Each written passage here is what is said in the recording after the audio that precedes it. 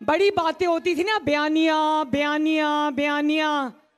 इनका बयानिया कभी था ही नहीं, अगर था तो बुरी तरह फेल हो गया है।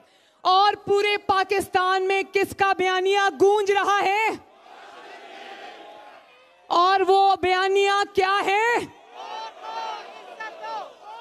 शाबाश।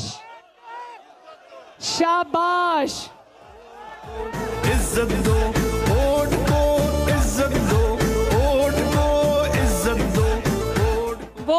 आजकल बड़ा चल रहा है ना कि ये धुंध है ये डस्का है और ये अवाम इमरान खान अवाम का वोट चोरी करते हुए रंगे हाथों पकड़ा गया है। वोट को इज़्ज़त दो वोट को इज़्ज़त दो वोट को इज़्ज़त दो वोट को इज़्ज़त दो।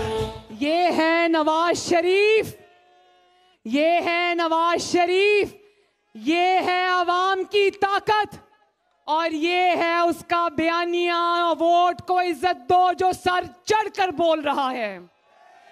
ना सिर्फ़ डस्का में गूंज रहा है, वजीराबाद में गूंज रहा है, बल्कि नौशेरा में भी वोट को इज़्ज़त दो घर घर में पहुँच गया है।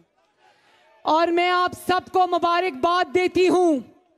मैं माफिया के मुँह से वोट चोर मगर मच्छों के मुँह से अपनी तीनों सीटें जीतने पर, खींच के लाने पर मुस्लिम लीग नून को मुबारकबाद देती हूँ।